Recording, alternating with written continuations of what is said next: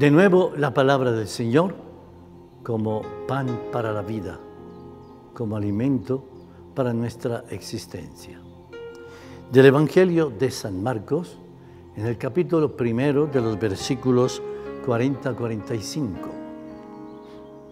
En aquel tiempo se le acercó a Jesús un leproso para suplicarle de rodillas, si tú quieres, puedes curarme.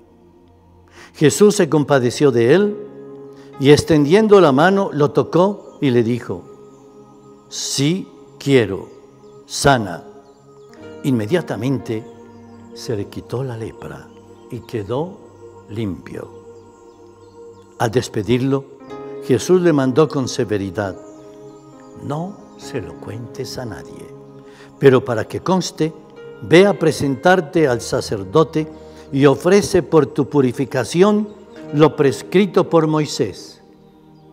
Pero aquel hombre comenzó a divulgar tanto el hecho que Jesús no podía ya entrar abiertamente en la ciudad, sino que se quedaba fuera en lugares solitarios donde acudían a él de todas partes.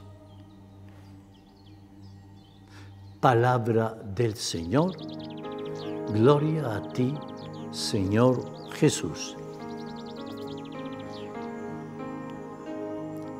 Este Evangelio lo pudiéramos fácilmente resumir diciendo, el mundo excluyendo y Jesús acogiendo.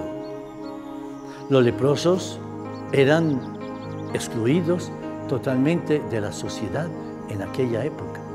Tenían que salir de sus casas, tenían que salir de sus pueblos e irse a las montañas, muchos de ellos con una campana colgada que tenían que sonar por donde iban para que todo el mundo saliera huyendo. Se consideraban un mal para la sociedad. Y Jesús, ¿qué hace?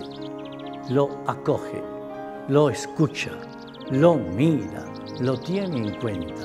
Es verdad, el mundo excluye, Sí te excluyen a ti porque no tienes las medidas perfectas, porque no vistes muy bien, porque no estás a la moda, porque no tienes el último celular, porque no hablas de las últimas modas, ni de los últimos artistas, no sé, ni de los últimos goles, ni los últimos éxitos de los cantantes favoritos, y te van excluyendo y dicen, eres un tontillo, eres una tontilla. Jesús no excluye a nadie, nos llama a todos, a todos nos sana de la lepra de nuestro pecado, de nuestros errores. Él acoge y limpia.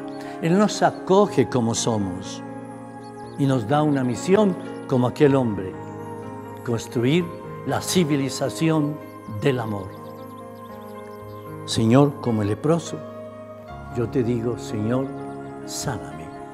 Tú sabes cuál es mi lepra, mi pecado, lo sucio que tengo, lo podrido que tengo en mí. Sáname, Señor, y trabajaré para extender tu reino de amor y de gracia. En este domingo, el Señor te acompañe en el nombre del Padre, del Hijo y del Espíritu Santo. Amém.